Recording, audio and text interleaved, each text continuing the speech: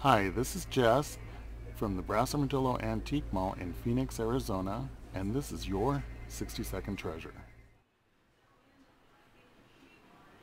This is your 60 second treasure find. I guess when we look into a garage, this is what we find inside there. It's all loaded up with different types of things.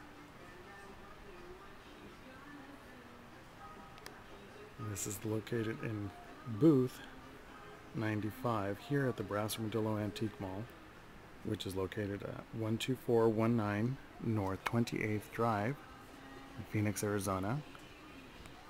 You can visit us on the website at www.brassarmadillo.com. We're open from 9 to 9, 7 days a week. And this is your 60 second treasure find.